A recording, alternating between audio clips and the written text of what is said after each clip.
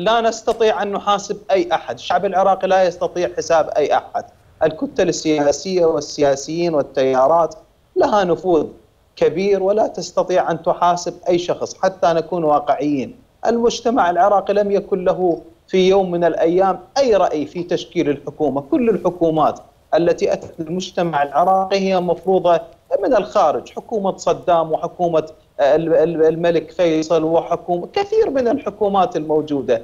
لم يكن لها لم يكن للمجتمع العراقي أي دور في تشكيلها وحتى هذه الحكومات التي أتت من بعد عام 2003 هي كانت حكومات وديمقراطية أتت بها آه، الولايات المتحدة الأمريكية يعني العراق. هو فقط للتنويه تشرين تشرين أتت بحكومة الكاظمي.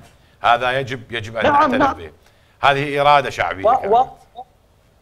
واضح واضح واضح ولكن المجتمع العراقي هو يقبل بالأمر الواقع وأنه لابد أن تكون هناك حكومة، هذا مسألة تاريخية وتحتاج إلى تفصيل.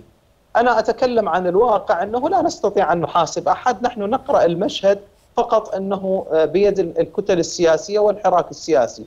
المجتمع العراقي ينتهي دوره من بعد ترشيح النواب ومن ثم يبدأ البرلمان هو تشكيل الحكومة ورسم السياسة للدولة ومن ثم إمضاء كل المسائل. هذا هو الأمر هذا هو طبيعة النظام البرلماني. إنه التصويت من ثم من بعد التصويت يكون الشأن للبرلماني.